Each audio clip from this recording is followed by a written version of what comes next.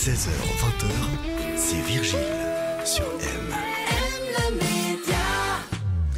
On part faire un tour à présent dans la capitale du Nord vaudois, Yverdon-les-Bains, avec le théâtre Beno Besson qui offre pour sa nouvelle saison 2024-2025 plus de 30 spectacles sous le thème de la quête.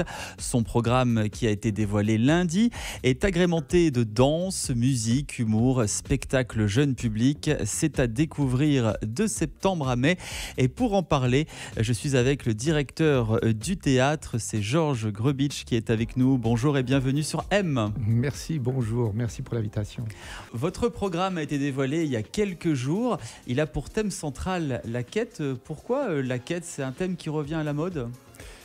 Oui, ben je, pense que dans la, dans la fuite en avant, n'est-ce pas, dans laquelle on vit actuellement, euh, avec euh, toute la technologie et toute cette envie de, de, partir toujours plus loin, je pense que, que l'art a cette force de, de, se poser la question un peu d'où on vient, c'est une quête sur le passé, sur peut-être sur ses origines, sur ses questions identitaires, et puis d'un autre côté, c'est vers où on va.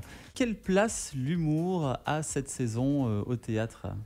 Alors, euh, on lui garde toujours une très belle place et le, public, euh, vraiment, c'est chouette, répond toujours avec beaucoup de, plaisir à ça. Je crois que la joie est vraiment un élément essentiel dans une saison, dans notre vie.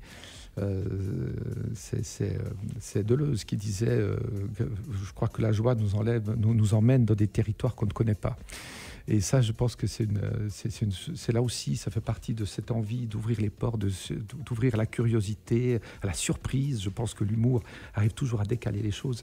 En l'occurrence, euh, euh, Joseph Gorgoni avec Marie-Thérèse, euh, ben, c'est un habitué du, théâtre, j'ai envie de dire. Et puis, ça nous fait toujours extrêmement plaisir de fêter ses 30 ans de carrière avec lui.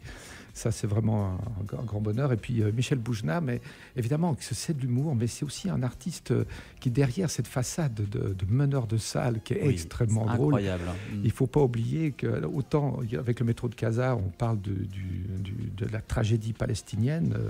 alors, à l'inverse, j'ai envie de dire, Michel Boujna raconte la joie de vivre de toute sa famille juive.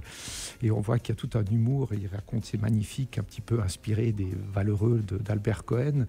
Toute une famille euh, avec sa grand-mère, etc., qui, ne comprennent plus ce monde actuel et tout, euh, le, décalage qu'il peut y avoir entre les générations et l'étonnement qu'on peut porter sur, euh, sur, le, sur le monde d'aujourd'hui et ses contradictions. De la musique également avec euh, de nombreux artistes, dont euh, Stéphane Echer et Fanny de Poule qui seront sur scène. Ouais, magnifique. Alors euh, Stéphane Echer, c'était la surprise. Je crois la même chose que Jean Lermier, directeur du théâtre de Carouge, a été surpris quand un, passant dans la rue a dit Mais c'est quoi ce théâtre? Et c'était Stéphane Eicher. Et on lui a dit, mais c'est le théâtre de Carouge, formidable. Il a dit, non, mais je veux jouer là. Il a rencontré Jean Lermier et il lui a dit, mais aujourd'hui, alors que Stéphane Hacher remplit des stades, hein, euh, il a dit, mais en fait, le, futur, c'est le théâtre. C'est-à-dire, c'est cette proximité, cette, euh, cette présence euh, proche avec, des, avec le public. Et, du coup, il, a, eu envie de raconter sa trajectoire, un peu ses histoires personnelles. Donc, c'est un seul en scène qu'il travaille avec François Gremaud. Euh, et où il sera accompagné par plusieurs euh, machines électroniques. Je crois qu'il revient un peu à ses origines. Et puis il a envie de raconter son parcours, sa quête musicale finalement euh, d'aujourd'hui.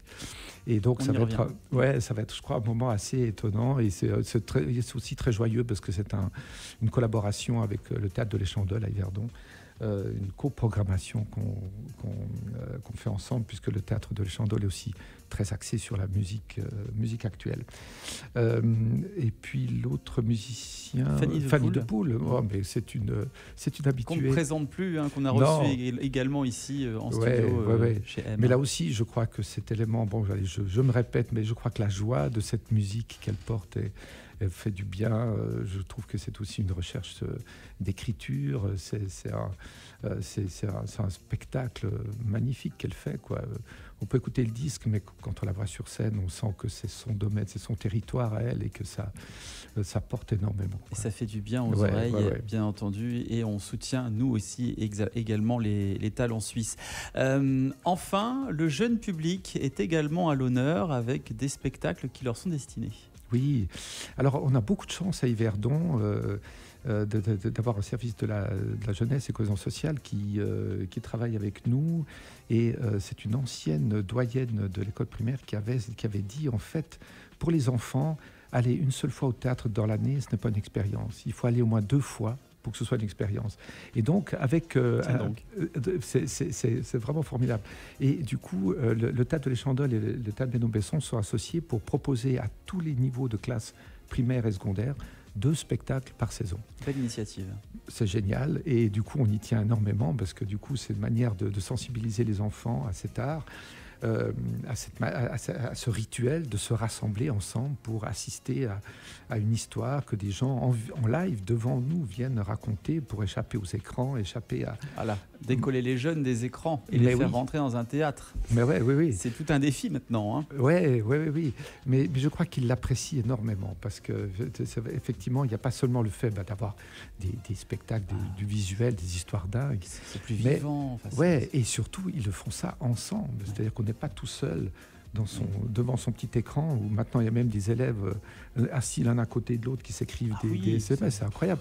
Là, du coup, ils sont ensemble pour regarder quelque chose, et ça, c'est un, une ouverture assez formidable. Et il y a des petits bijoux euh, dans cette saison-là. Donc de la danse, de la musique, de l'humour, du spectacle pour jeunes publics. Tout le monde trouve sa place dans cette nouvelle saison euh, qui s'annonce riche au théâtre Beno Besson. C'est à découvrir de septembre à mai euh, à Yverdon-les-Bas, bien sûr. Est-ce qu'il y a un site internet si on souhaite la programmation ou plus d'informations sur le théâtre? Bien sûr, www.théâtrebenobesson, écrit tout en un mot sans accent.ch. Georges Directeur du théâtre Beno Besson, le TBB. Beaucoup de bonheur et d'échanges avec votre public pour cette nouvelle saison.